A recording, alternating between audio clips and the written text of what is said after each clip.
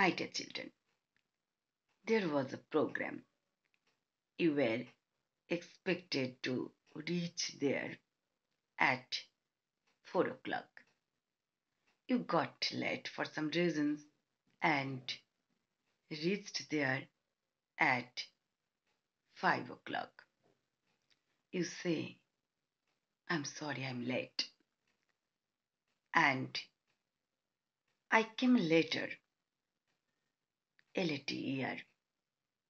This sentence means that you arrived there after the arrival of some other persons.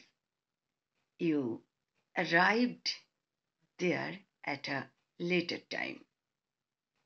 And after you reached there, you saw that many have arrived before you. So you say, I came later. This is the difference. This query was sent by one of my students. Please send if you have more queries. Have a nice time.